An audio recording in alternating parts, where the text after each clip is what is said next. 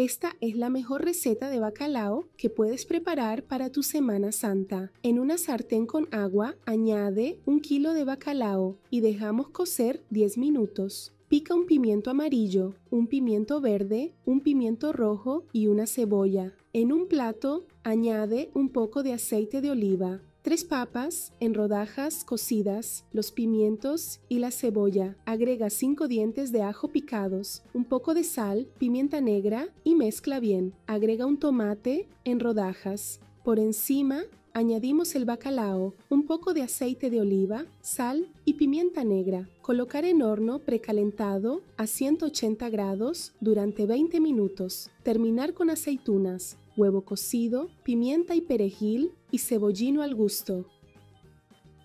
Y si también te gusta el bacalao, déjalo aquí en los comentarios. A mí me encanta el bacalao.